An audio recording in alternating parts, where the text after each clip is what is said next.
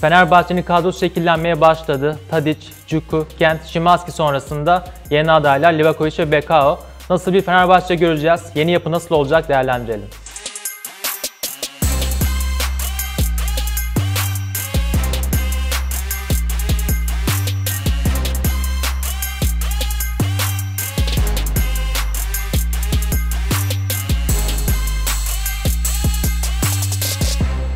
...4-2-3-1 oynayacak bir Fenerbahçe olacak. Zaman zaman 4-3-3 görebiliriz.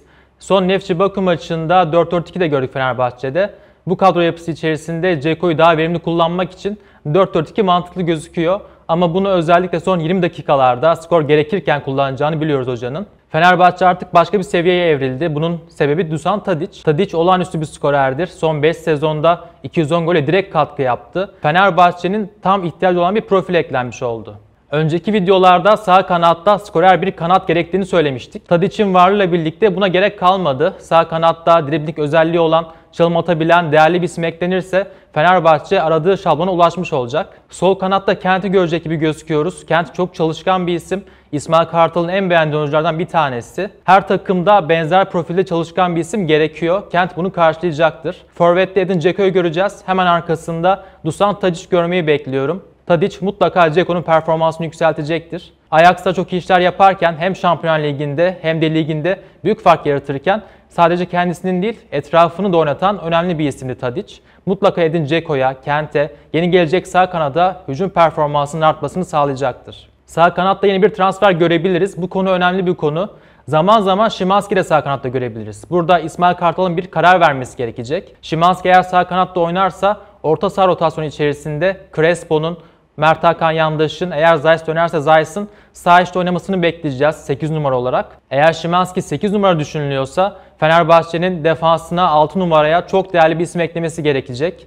Top kesiciliği olan, rakip alana takımı yerleştirebilecek, ayağı iyi, top kaybetmeyecek bir oyuncu ihtiyacı var Fenerbahçe'nin.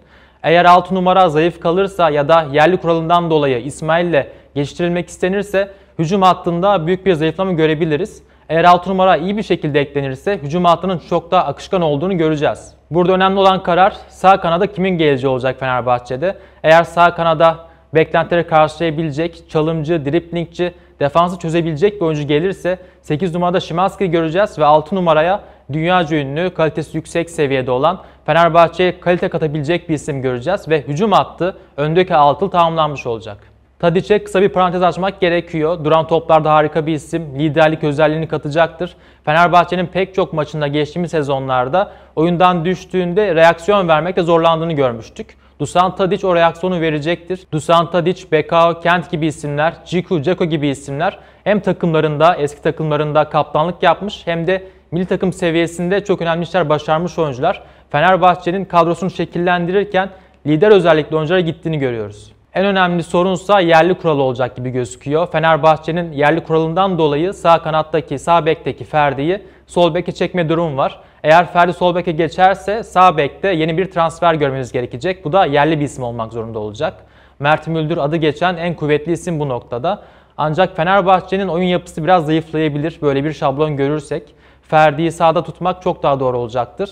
Sağ bekte Ferdi'yi görürsek sol bekte bu sefer Osterwolde'yi, Lincoln'u görebileceğiz ve hazırlık maçlarında iyi oynayan Osterwolde'nin de kullanılmış olduğunu göreceğiz. Stoper hattında Luan Perez, Ciku ve gelirse Beka'yı göreceğiz. Bu üçlü Fenerbahçe'nin yeni sezonunu götürebilir. Luan Perez, Ciku, Luan Perez, Beka ikilileri çok daha doğru olacaktır. Beka ve Ciku da ikili olabilir ama Luan Perez'in daha doğru olacağını düşünüyorum. Luan Perez'in ayak kalitesi, liderliği, takımı öne çıkarma becerisi her zaman sol stoperde onun tercih edilme sebeplerinden biri olarak önümüze çıkıyor. Hazırlık maçlarında da çok iyi oynadı Luan Perez. Sağ stoperde ise Bekao'ya da çıkıyor görebiliriz. Şiku'nun ayak kalitesi iyiydi ama oyuncu takibinde geriye koşmakta iyi olduğunu söyleyemeyiz. Henüz test edilmedi Fenerbahçe düzeyinde. Bekao ise ikili mücadelelerde çok iyidir. Fiziksel özellikleri yüksektir. Fenerbahçe'nin aradığı o sertliği katabilir. 8 artı 3'ten dolayı Fenerbahçe'nin yerli rotasyonunda bir sorun da var. Ferdi ilk 11'i hak eden tek yerli oyuncu durumunda. Bundan kaynaklı 6 numaraya transfer dedik ama İsmail Yüksek'i zaman zaman görebiliriz o bölgede. Üçüncü yerli olarak zaman zaman Emre Mor'u, İrfan Can Kahveci'yi, Mert Hakan Yandaş'ı göreceğiz. Bundan dolayı Fenerbahçe'nin bazı maçlarda rotasyona gitmek zorunda olacağını söyleyebiliriz. Buradaki en önemli nokta ise kaleye kimin geçeceği olacak. Altay yerine Livakovic'e giderse Fenerbahçe öndeki 10 oyuncudan 3 tane yerli bulmak zorunda olacak. Livakovic de çok önemli bir ekleme. Onu ayrıca değerlendireceğiz ama Fenerbahçe için artık lider bir kaleci gerekiyordu. Baskı altında ezilmeyecek, takımın seviyesini yükseltecek, lider özellikle bir kaleci gerekiyordu. Livakovic bunu karşılayacaktır. Fenerbahçe için çok kaliteli bir 6 numara, sağ kanat ve yerli rotasyonu oluşturabilecek yerli isimler kadroya eklenecek gibi gözüküyor. Artık yapı sağlam durumda. Yeni sezonda İsmail Kartal'la Fenerbahçe neler yapacağını göreceğiz. Yeni oyuncular eklendikçe değerlendirmeler yapmaya devam edeceğiz.